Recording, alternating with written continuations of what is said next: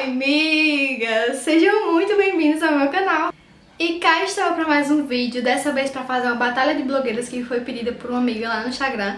Inclusive, se você não me segue ainda, segue lá, arroba Vitória Rosaline. E ela me pediu para fazer uma maquiagem da paleta da Mari Sade versus a paleta da Nina Secrets. Então, amiga, se inscreve no canal se ainda não é inscrita, que temos vídeos aqui três vezes na semana. Deixa o seu like para ajudar na divulgação do vídeo e não se esqueça de ativar o sininho para você sempre receber notificação quando eu postar. Então, chega de papo e bora lá pro tutorial.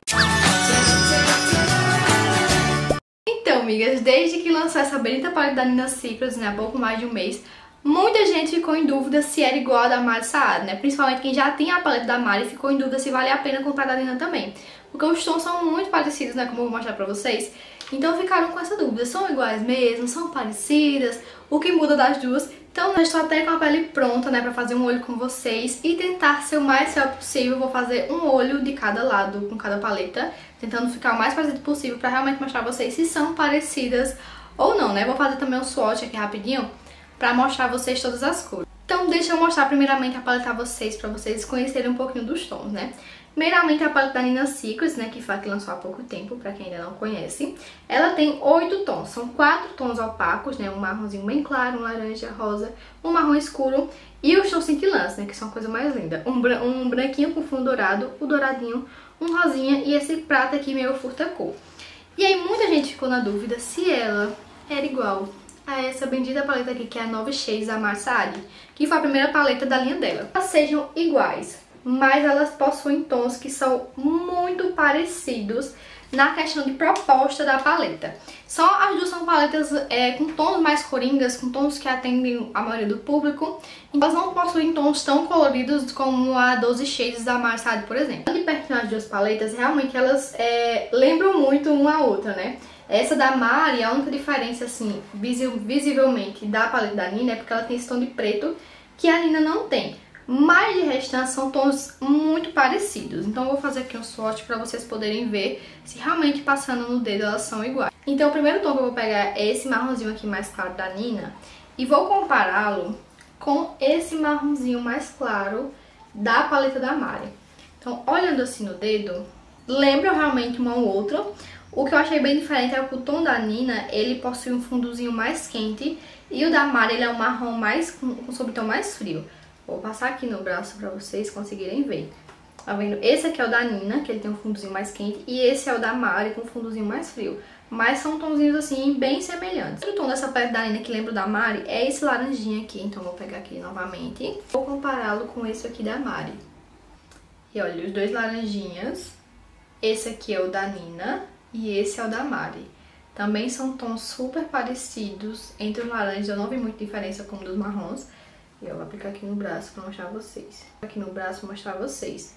Ó, esse é o da Nina e esse é o da Mari. Assim, acho que a única diferença é porque o da Nina, ele é bem laranja, assim, é mais pigmentado. O da, da Mari, ele lembra, assim, um, um marronzinho mais telha, sabe? Olhando assim no braço. Então você consegue ver bem a diferença. O terceiro tom é esse pink maravilhoso da Nina. Eu vou compará-lo com esse pink também da paleta da Mai Saad. Assim, os dois eu consigo a diferença é que o da Nina é mais puxado pro rosinha e o da Mari, ele é bem mais forte a cor, é puxado meio pra um fux. Aqui no braço, normalmente pra mostrar pra vocês, ó. Esse aqui é o da Nina e esse aqui é o da Mari. O tom opaco da paleta da Nina é esse marronzinho aqui bem escuro, que pra ser sincera eu não achei nada parecido com o da paleta da Mari. Mas eu vou passar aqui no dedo pra mostrar pra vocês a diferença. Olhando assim no dedo dá pra ver bem a diferença. Esse aqui é o da Nina, é bem mais escuro. E esse aqui é o da Mari Saari. É um marrom bem mais claro. Então tem muita diferença entre os dois. Vou fazer aqui um swatch novamente. E olha, diferença bem grande. Essas duas aqui não são nada parecidas. Então, as sombras, elas realmente se assemelham muito. Mas não na questão da cor, mas eu acho que na questão da, na questão da proposta que a paleta quis entregar.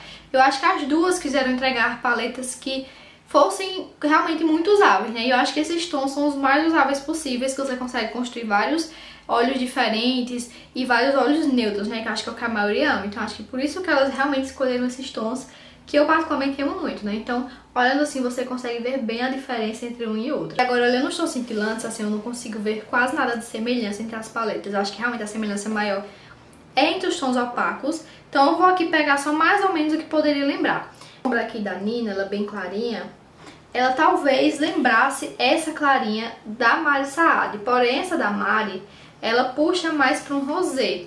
Diferente da da Nina, que puxa para um tomzinho dourado. As duas são sombras que você pode usar para iluminar o cantinho, abaixo da sobrancelha, mas o subtom é totalmente diferente. Eu vou arrumar aqui espaço nesse braço, ó. Assim vocês conseguem ver bem, tá vendo? Essa é a da Nina, que tem um fundinho mais dourado, e essa é a da Mari, com fundo mais rosé. Outra sombra que tem, assim, parecida na paleta, é essa douradinha, mas também é completamente diferente, ó. Vou pegar aqui a da Mari. Essa da Nina, ela realmente é aquele dourado bem amarelado, tá vendo? E essa aqui é a da Mari Saad, tá vendo? Que ela tem um tomzinho de dourado é, mais fechado, mais fechado pro marronzinho. Essa aqui é a da Nina, tá vendo? Que ela é um dourado bem mais amarelado. E essa aqui é a sombra da Mari Saad. A sombra mais linda da Nina, que é essa aqui com fundinho rosado. Vou comparar com essa Dust da Mari Saad. Elas lembram, assim, com fundinho rosado mas são muito diferentes. Eu vou passar aqui agora que eu não tenho mais nem espaço no braço. Elas são muito diferentes. Assim, a luz vai enganar muito, mas essa da Nina, ela parece um pigmento, sabe? Ela tem um brilho rosa, puxado pro rosé, puxado pro dourado, sabe? Tem, você consegue ver as partículas de brilho. A da Mari que você consegue ver só a sombra, sabe? Você não vê uma partícula de brilho diferente. Essa aqui é realmente lembra muito um pigmento solto. É muito, muito, muito linda essa sombra. E a luz pra mostrar melhor a vocês, ó. Tá vendo a da Nina? Que ainda assim vocês não vão conseguir ver o brilho real dela, porque puxa para as partículas de brilho rosa. E essa, a da Mar Saad, que é só aquela sombra cintilante, ela com efeito mais molhado, mas essa aqui realmente lembra muito mais um pigmento. E por fim, aqui na paleta da Nina tem essa sombra que é um prata meio puxado pro roxo, puxado pro azul, é uma sombra bem diferenciada, mas ela não tem nenhuma sombra parecida na paleta da Mari Saad 9 Shades. Essa sombra da Nina lembra muito uma da paleta 12 Shades da Mari, que é essa elétrica. Tá vendo que ela tem um fundo prateado, com um subtom meio roxo, meio esverdeado. Então eu vou passar aqui no dedo também pra fazer swatch pra vocês e poder fazer uma comparação. Aqui são as duas paletas, essa aqui é a da Nina e essa é a da Mari. São realmente muito parecidas. O que difere mais é porque a da Nina, ela tem um subtom mais puxado pro chumbo, mais um, um cinza mais fechado. E a da Mari você consegue ver um prateado mais puxado pro roxo, sabe? Uma sombra mais um pouco mais clara do que a da Nina. Essa aqui tem um subtom mais escuro e essa um subtom mais claro. Porém, esse fundinho meio arroxado se assemelha muito. Estou sem espaço nesse braço aqui, né? Mas eu vou passar agora aqui pra vocês. E olha, essa aqui é a da Nina, ela tem um, um fundo mais escuro. E essa é a da Mara. Você não, quando eu viro assim, você, ela não reflete um tom escuro. Ela realmente é bem mais clara mas são muito parecidas, né? Então vamos lá? Depois de tantas comparações aí de meu braço ficar todo sujo, vou pegar as sombras que eu acho mais parecidas das duas paletas e tentar fazer o mesmo olho aí dos dois lados. Desse lado aqui eu vou da Nina, então vou começar por essa sombra laranja que foi a que eu achei que é mais parecida entre as duas. E eu vou aplicando aqui só nesse cantinho externo. Tô aplicando com um pincel menorzinho, que é um pouco mais firme. E olha, essa paleta da Nina, ela é muito, muito pigmentada. Desse outro lado eu vou pegar a sombra laranjinha da Mad Saad e vou aplicar do mesmo jeito, tá? Pegar um pincel diferente. Aplicando aqui do mesmo jeito. Só estou aplicando mesmo, não estou esfumando por enquanto. Agora, até que olhando assim no olho, eu achei que as duas são super parecidas.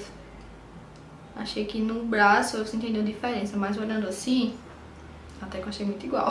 Essa laranjinha, eu vou pegar essa sombra marrom mais clarinha da Nina. Só vou esfumando aqui mesmo essas bordinhas até conseguir fazer um degradê. E vou trazendo aqui um pouquinho de nada pra esse côncavo. Dá só dar uma alongadinha de nada aqui nessa sombra. Então aqui desse finalzinho eu vou puxando de leve. Nem peguei mais sombra, só com o que ficou no pincel. E eu vou aqui subindo esse esfumado, deixando ele mais alongadinho. Agora pra esse mais laranjinha eu vou pegar essa sombra aqui da Mari, a Soft Brow, que também é um marrom bem clarinho. E aí vai ser um pouco mais difícil porque também não tem um pincel pequenininho pra fazer do mesmo jeito, né? Mas vou fazendo aqui mais ou menos o mesmo movimento, que é pra esfumar só aqui esse finalzinho desse laranja. Essa sombra da Mari, eu não sinto que ela pigmenta tanto no meu tom de pele, sabe? Ela fica uma coisa mais apagada, diferente dessa da Nina, que ó, você consegue ver o marronzinho, ele fica com uma cor mais destacada. E eu tô esfumando aqui, tentando dar uma alongadinha, mas ó, Tá vendo que essa sombra parece que dá uma apagada no laranja? Vou voltar só com um pouquinho do laranja aqui pra poder intensificar. Porque essa sombra é mais fria, mais apagada, aí ela dá essa impressão. Só com um pouquinho do laranja. E vou tentar deixar o mais parecido possível aqui dos dois lados. De sombra cintilante eu vou pegar essa aqui, douradinha. Essa aqui eu já não sei se vai dar muito certo, né? Porque é muito diferente da paleta da Mari. Então vou aplicando aqui, qualquer coisa eu vou dar uma misturada do outro lado. pra ficar o mais parecido possível. E lá da Mari eu vou aplicar essa sombra dourada aqui, né, que azuis. Não vai ficar muito legal. Uma ação diferente, né? essa aqui realmente é bem mais amarelada do que essa. Essa sombra aqui da Nina talvez lembre uma paleta da Mari, a Lady Shine, que tem um douradinho que talvez se assemelhe muito, né? Mas como eu não queria mudar muito a paleta, eu queria mudar essa aqui, né? Então eu vou tentar fazer uma gambiarra aqui, um de marrom da paleta da Nina e vou tentar passar um pouquinho aqui por cima desse dourado pra ver se ele fica mais parecido com o da Mari Saad. Mas assim, ele ainda brilha mesmo passando essa sombra por cima, ele ainda continua hum, brilhando mais e com um subtom mais diferente, né? Mas é o que temos pra hoje. pra fazer esse lado inferior, vou pegar a sombra rosa pra comparar as duas. Então, vou pegar essa aqui da Nina, aplicando aqui nessa parte inferior. Pra fazer esse lado do lado da Mari, vou pegar a sombra rosa, né, Wine. E vamos ver no olho se elas são parecidas. Gente, elas são hiper parecidas. Opa, esse, esse olho tá ficando quase idêntico. Pra iluminar abaixo da sobrancelha, eu vou pegar essa sombra mais clarinha da Nina. E aí vou iluminando aqui embaixo. Gente, essa, essa sombra é tudo. E vou iluminar também aqui nesse cantinho. Pra iluminar desse lado, eu vou tentar pegar esses dois tons pra deixar o mais parecido possível. Tirar os dois, porque só o cristal eu acho que ele ficaria muito rosado. Então eu tô misturando com dust pra deixar um fundinho mais douradinho mas ainda assim é muito diferente. Vocês conseguem ver uma diferença grande, tá vendo que a da Nina, ela realmente ilumina mais, inclusive fica lindo esse tom como iluminador, e já a da Mari, ela realmente você vê que é mais uma sombra. É, não ilumina tanto como essa aqui da Nina. Olha o que vocês acharam, hein? Achei que ficou muito parecido. Ó, esse daqui é a Nove Shades e esse aqui é a paleta da Eudora com a Nina. E é pra isso, gente. Acho que só realmente a douradinha que você consegue ver uma diferença maior. Mas as sombras opacas, assim, depois que você consegue esfumar, dar uma misturadinha, Fica muito, muito, muito igual, sério. Estou chocada. e pronto, colei os meus cílios, apliquei um gloss pra finalizar essa make e vim aqui pra dar minhas considerações finais sobre as bonitas paletas, né? Primeiramente, né, assim, questão de comparação do preço. A paleta da Mari, eu olhei no site da Oceano, né, que é a marca da Mari Saari, é, a paleta Nova Shade está custando 80 reais. Você ainda encontra em muitos sites algumas promoções. E é uma paleta bem grande, as sombras são muito, muito grandes. Já a paleta da Nina, no site da Eudora, você está encontrando por R$ 109,90. Então, comparado com as sombras da Mari, essas aqui são bem menores, né? Então essa aqui é uma paleta bem maior. Mas assim, pra uso pessoal, essa aqui eu já tenho há muito tempo e não saiu nem do canto. Então assim, em questão de tamanho também, eu não acho que esse seja um tamanho pequeno. Acho que é um tamanho bom. Mas em questão de preço, obviamente, a da Nina chega a ser um pouco mais cara. Um ponto relevante aí pra quem ainda tá em dúvida na hora de comprar, pigmentação.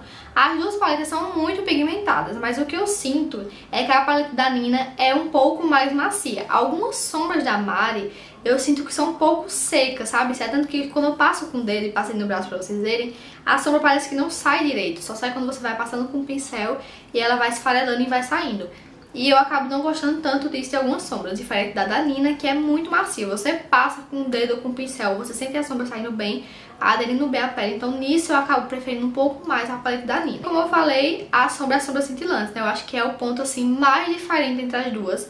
A paleta da Nina tem sombras cintilantes muito mais bonitas, apesar de serem propostas parecidas, como eu falei, elas são mais brilhantes, tem um, um fundo de pasta que lembra um glitter, que lembra um pigmento. Então acho que dá um olho muito mais diferente. Você olhando pessoalmente, você consegue visualmente ver a diferença entre as duas. Então nesse quesito também eu acabo preferindo a paleta da Nina.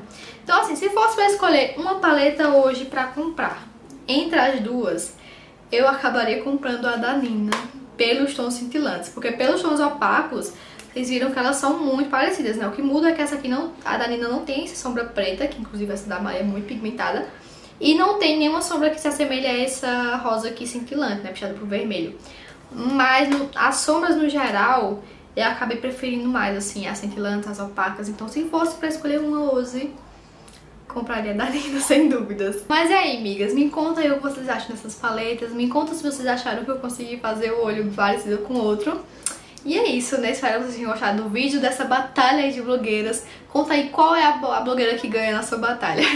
então espero muito que vocês tenham gostado. Um super beijo e até o próximo vídeo. Tchau!